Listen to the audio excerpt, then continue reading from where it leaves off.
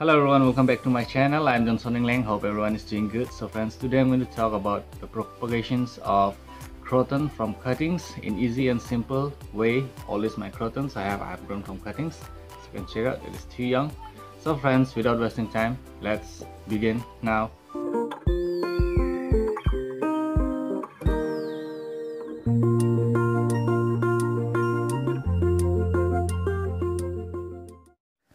So friends these are my croton plant i have. This is one one old. So i have grown from cuttings. Now it has started growing well. As you can see. So another this one is two months old. And the new growth has started coming out looks really beautiful. I really like the leaves of the crotons. And i keep this plant indoor in indirect sunlight. So this too it's like three months old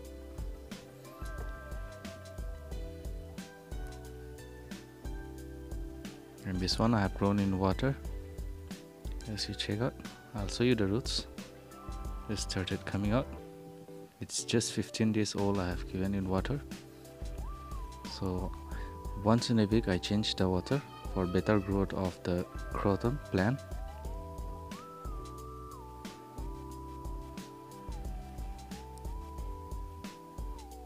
So friends you can grow croton both in water and in the soil mix for better growth you grow in the soil mix. So I'll choose good cuttings from here.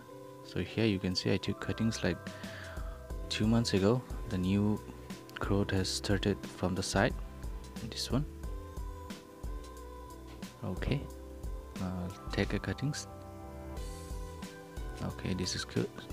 So I'll cut here. You need to use a sharp cutter for cutting it. Right this is good for growing. So I'll take out some leaves from these cuttings.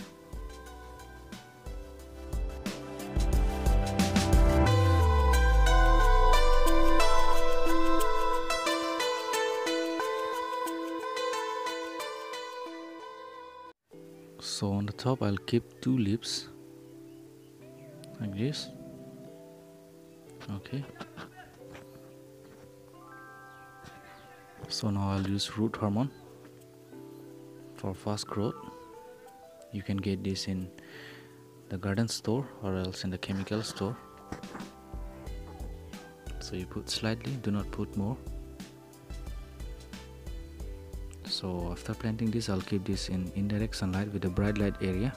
So do not bring to the direct sunlight. So now most important thing is the soil mix. Should be good for planting cuttings so the soil mix should be well drained. So i have used here vermicompost coco peat and garden soil. I have given a little bit of reverse here. So i'm making hole with my finger. You can use pencil or else stick okay now press it gently. So after planting this you should give some water to remove the air gap from inside the soil mix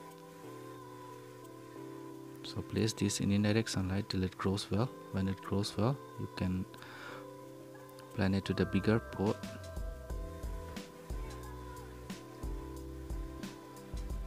Right. So friends this one I have grown like two months ago. So I used to give fertilizer once in two months for good growth for keeping the plant healthy.